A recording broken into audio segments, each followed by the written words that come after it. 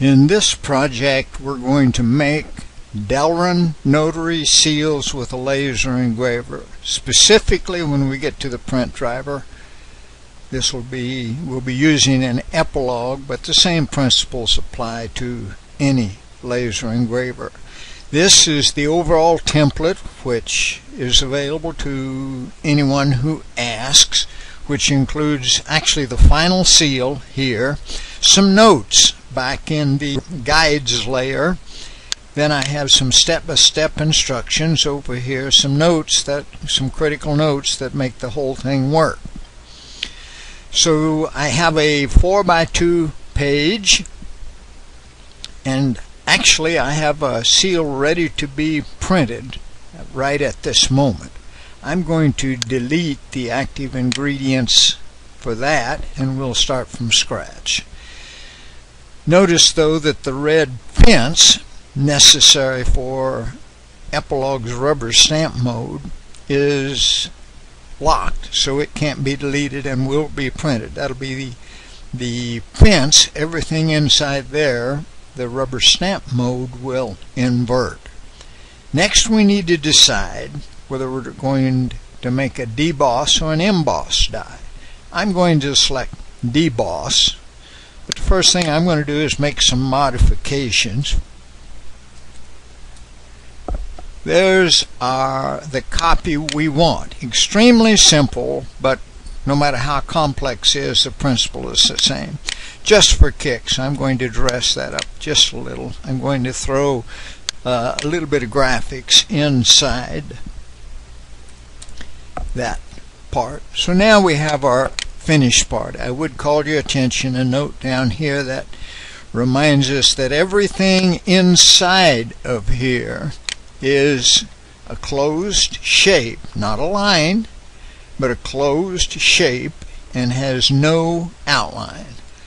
Then only the cutout line has an outline on it, and that is hairline or less. So having completed this, I'm going to drag a box around that and drag that into the female slot. Anywhere in there will be fine based on what we're doing. And then I, before I release, however, I'm going to press the right mouse button. That duplicates it. So if I screw this up, we have uh, a place to start back here. And uh, now, with that still selected, I'm going to convert that to curves. Arrange, convert to curves. Next step, now that that's a curve, I'm going to mouse mirror that. I'm going to grab that leftmost handle and drag it over here to where it's about a duplicate, but somewhere along the line I'm going to hold the control key down before I press the right mouse button, which duplicates that. Then I release the mouse button first and finally the control key. That's what I call mouse mirror. Some people call it flip invert. But what we have, perfect replica of that which is on the left side, only it is inverted. Now I come back to the female, select all of that, and I'm going to combine that. Either the combine icon or arrange and combine or the hotkey control L. Now the female is all one shape. Next I'm going to fill that with black. Then I'm going to change the outline to 25 thousandths instead of 1 thousandths. I want 25 thousandths there. And then I'm going to make that white. I'm going to right click on white, left click fills, right click outline. So I beefed up that white a little. But now, uh, because we combined that earlier, we lost our vector cutout. So I'm going to come back to this part, grab the right, I'm selecting just the ellipse, select the right handle, drag it about to the location, but somewhere along the line I hold down the control key and then right mouse button, releasing the mouse and finally the control so we have mouse mirrored over that. Let's uh, zoom up on that just to be sure we see what we have there. Now we're ready to print that. So let's click on print. I've selected an Epilog laser. We'll go to preferences.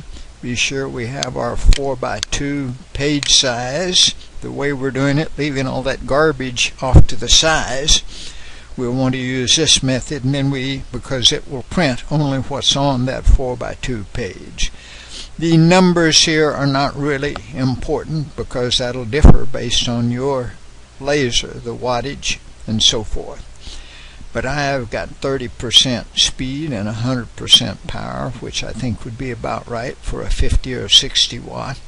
And then I'm going to come back and cut that out using 20% vector speed and 60% power. Critical to this method of making notary seals is we need shoulders on both the male and the female dies. We do that by going to advanced and using the laser's rubber stamp mode. I'm going to tell it stamp mode on instead of basic and while you can dinker with these settings I normally just leave them at their default so having put that in shoulder mode or stamp mode we should be set we'll double check our final settings here so we'll OK that and finally print it. And there we have completed notary seals.